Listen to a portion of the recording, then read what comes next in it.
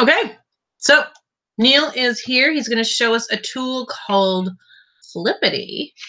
Um, so I'm going to hand this right over to Neil. Go for it. Hey everyone. So I'm basically it's flippity dot let me see it's just flippity.net it's a site and it what it has is let's see here it has some let's see if I can get this into present mode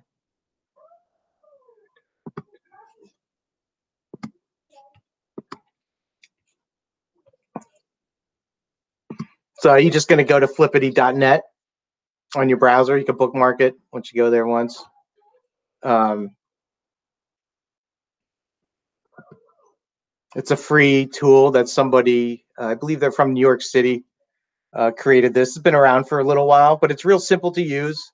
Um, and there's a lot of different tools that are available.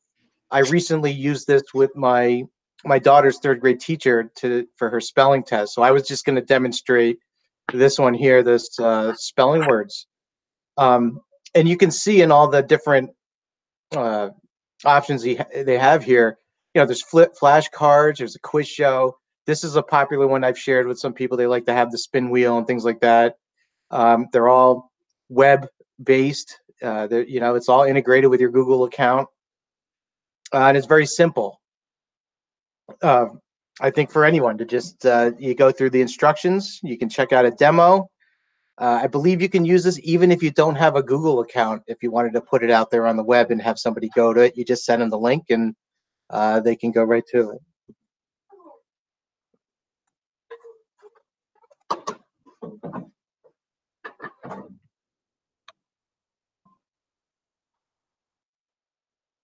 So I was going to just show you. So this one's kind of fun too. Here, this flippity with words. You could type in a bunch of words and it'll come out in different, uh, you know, prints and things.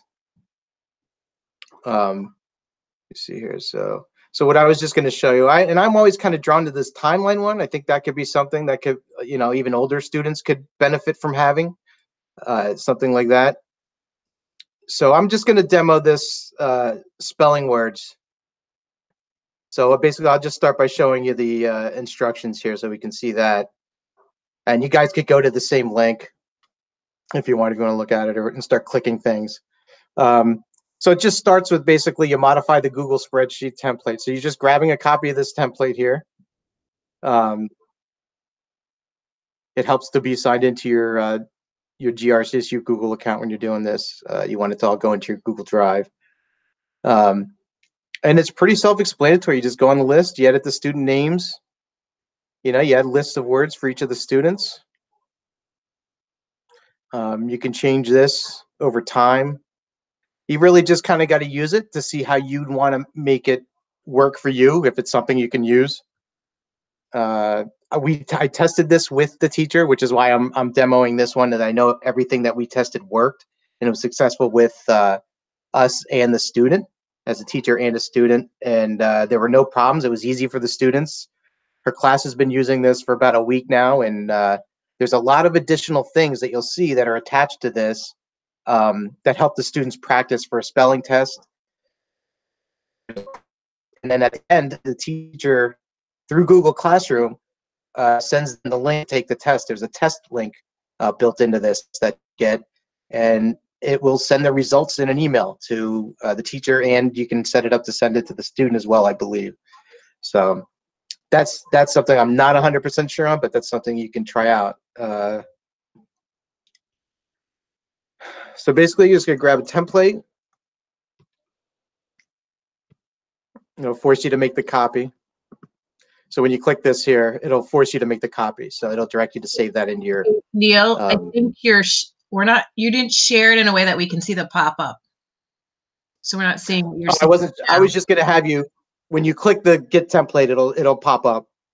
Yeah we don't see that.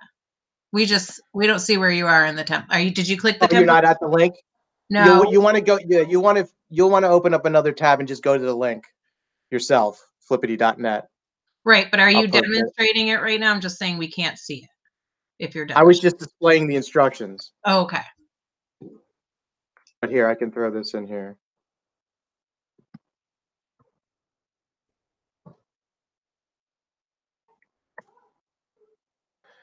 So you can go to that link I just I just dumped into the uh, chat. You open that up, and then you're just basically going to click the template, grab the copy of the template. That's where it'll you'll see the pop up uh, to make a copy into your drive.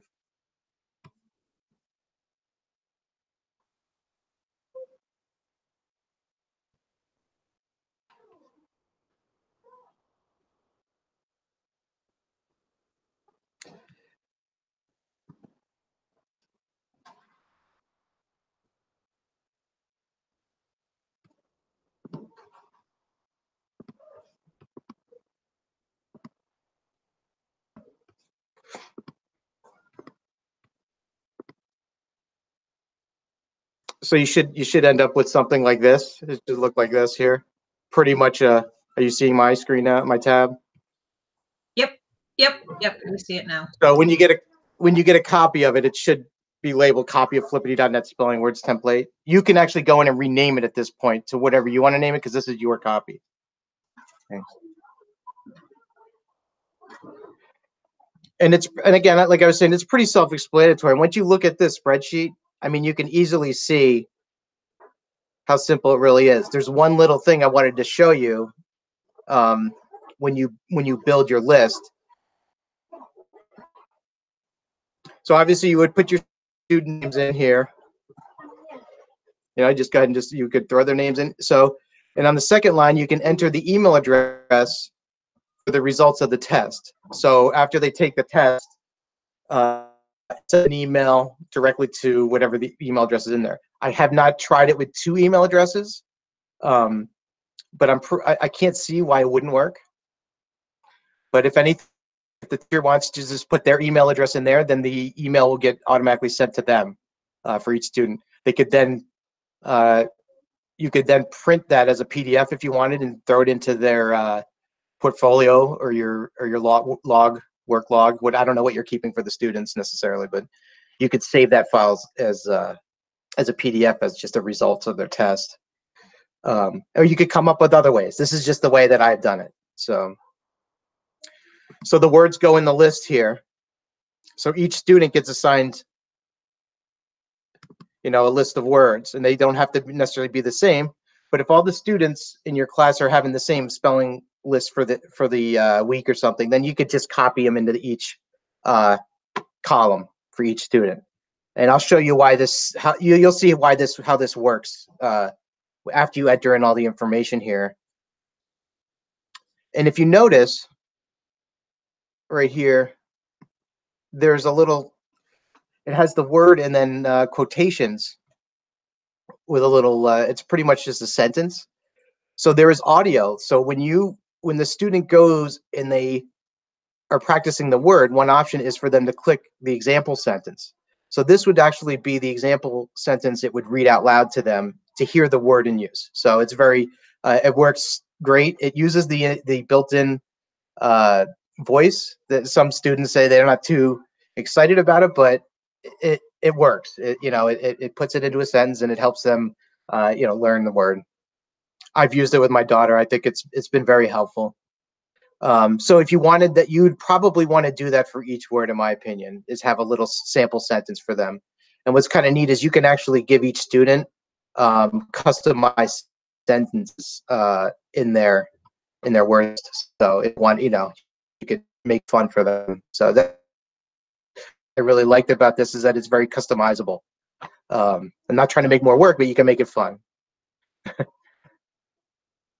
so once you have everything in there, I'm not going to go through the whole thing. I try to keep it short.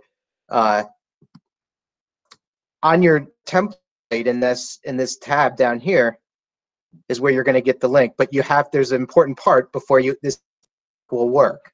You need to publish the spreadsheet. So you just click that publish to the web. You, you don't really need to change anything. I didn't change it. I just clicked publish. Say okay. Takes a second. There's now there's your link. So this is the link. Um, that just copy.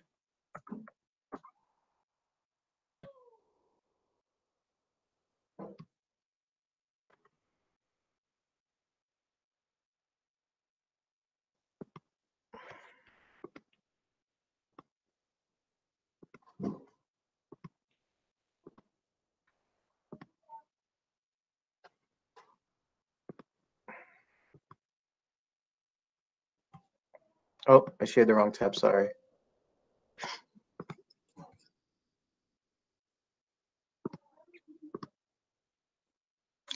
Trying to get the right tab up here. I got too many going. So once you publish it, you can copy that link there.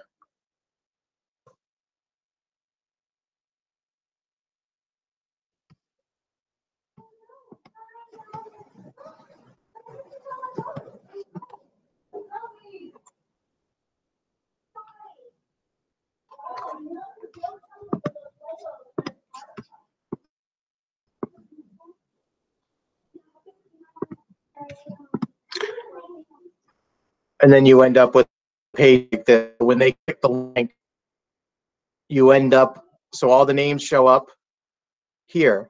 So you have the students just click their name on the list and there's the, the words. And so there's additional tools built right into it after you make this uh, spreadsheet. You know, there's the list, and this is where you would click it, and there would be sound with the example sentence. And, you know, it would have all the words that you had on the list. I like that it's clean. There's not a lot, there's no advertising or anything like that. It's just,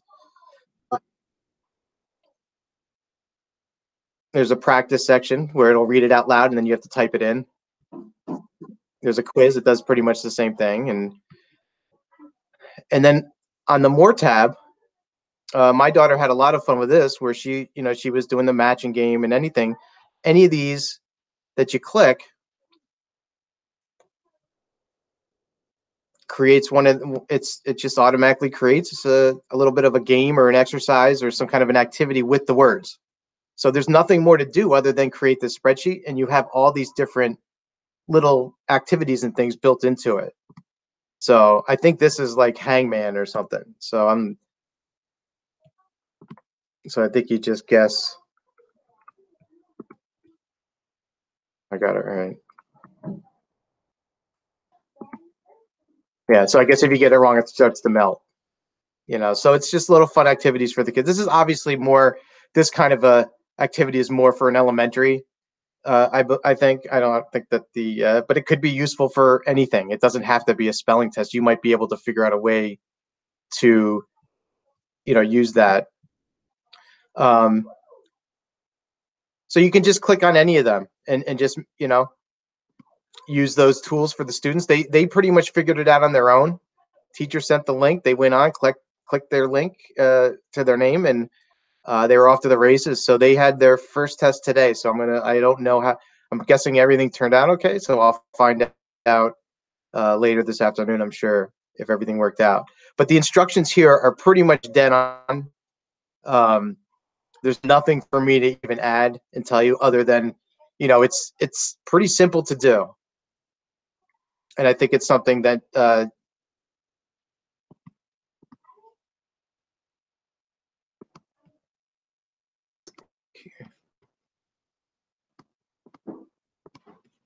I think it's something that can be useful. Um, and again, there, there, there's the variety of tools on there is also pretty. Uh, it's fun actually just to go mess with them. You know, there's there's just uh, so many things on there that you can fool around with, and you might find something that could be useful. You you you know, no matter what the class is, might be able to uh, find a tool in there that you can utilize in uh, science. I see Alina was here, so. Um, but the spelling test is the one I've seen used. It works, no problems as, as far as I'm aware. So I don't know if anyone has any questions, comments. Barb has one here. Says looks like to be a great resource for ELA. Do you know if there are any math activities that teachers have used? I know I've shared this out with quite a few teachers, but haven't really heard uh, if they've used it or not. A couple of them, I know some of them use the spin wheel during their meetings. Uh, if they were doing some kind of an activity, so they'll, you know, so the, the student might be looking at the wheel and spinning for something while they're working on something. And um, but no, I haven't. I I'm actually going to use the flashcards. I'm gonna. It's the very first thing on that list of apps or tools. Uh, I'm gonna I'm gonna do the flashcards with my daughter, the the times table. So we're gonna use that for that. It looks pretty simple to set up as well. Yeah, it's probably. And I didn't. We didn't. We haven't run into any yeah, there haven't been any kind of roadblocks that I've I've seen with any of this stuff, which is one of the reasons why it, it was a something I thought would be useful. Uh, Cool. And it's free. We love free. yeah, great. Free. And He's it's actually this guy who did this was somebody who uh, helped with that G class folders back in the day. Cool. Anybody else have any questions? If you do, you can type it or you can unmute yourself.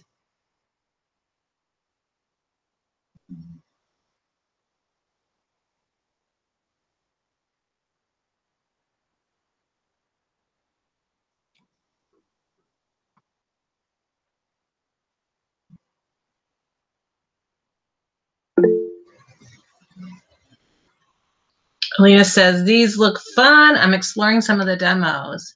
Yeah, you can go straight into, if you go to flippity.net, I was kind of clicking around while Neil, um, and if you just click on the demo button first, you can see how it works before you go into like building the, um, your spreadsheet with it, which is kind of cool. This is that that that's that flippity.net is absolutely designed for teachers. Like it is just it's very you know you just look at it boom boom boom there's the demo the template the instructions everything's right there and when you open the template everything's in there too so uh, remember there's those tabs at the bottom uh, for the spelling test make sure you publish it just follow the instructions that are with any of those uh, activities and you should be fine. If you run into problems reach out to erica myself any anyone in the tech side of things you can get it they could probably help. And Yeah. share it with other other people you know you can you know share let them know It's another another tool toolbox. So I think that it's okay for the students to use as well if they want to have fun with the words or something. You know, if you give them a so That's true. They could generate um, their own kind of games for their classmates. It'd be kind of fun. Neil, thank you so much. This was a great little tool I didn't even know about. Um, I'm going to be clicking around in there later today, I think. So if, if people have questions, I'm sure Neil would be okay if they reached out to you. Yeah, no problem. Cool. I really appreciate it. Um, all right, guys. So that is today's lunch and learn. And I hope you guys enjoy the afternoon. It looks sunny out still. So I hope you have some time to go outside. Have a good day, everyone. Thanks, Neil. All right, thanks. See ya. Hey, Erica. Yeah. I have Mike. a hey, I have a question. It has nothing to do. And Neil, while you're both on, it had nothing. It has nothing to do with what you just did. Whenever I go on my meets from now on, it's happened for the last